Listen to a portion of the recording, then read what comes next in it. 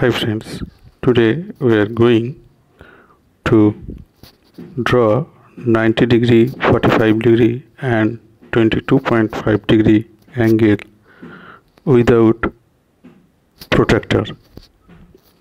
So at first we are drawing a straight line. This is the straight line and there are two endpoints. Now we are drawing a circular from one endpoint of the straight line. This is the circular. The circular arc has made the straight line in a point. Select the point and make another circular arc on previous circular. Arc.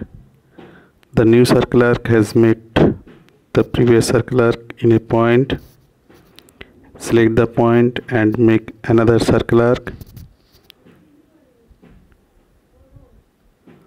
And select the point again. And now draw two circle arc from these two points.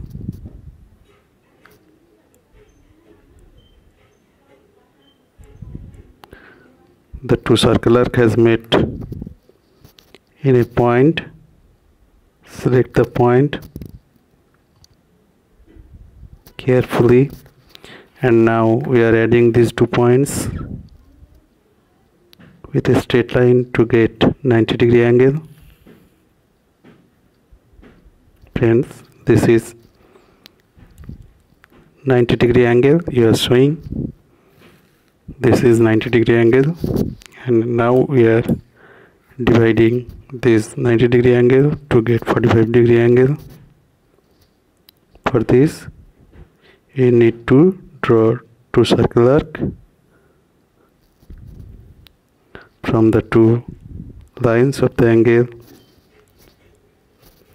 which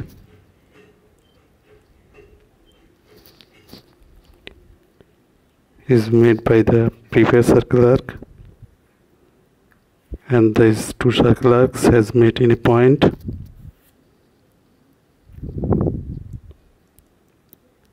This is the point. And we are getting 45 degree angle by adding these two points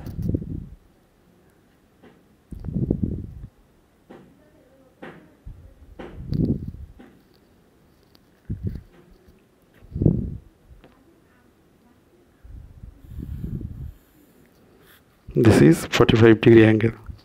And now we are going to divide the 45 degree angle to get the the 25 22.5 degree angle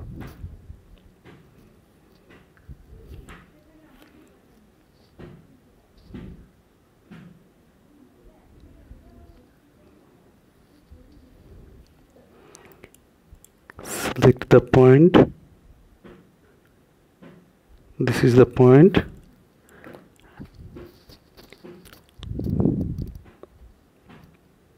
And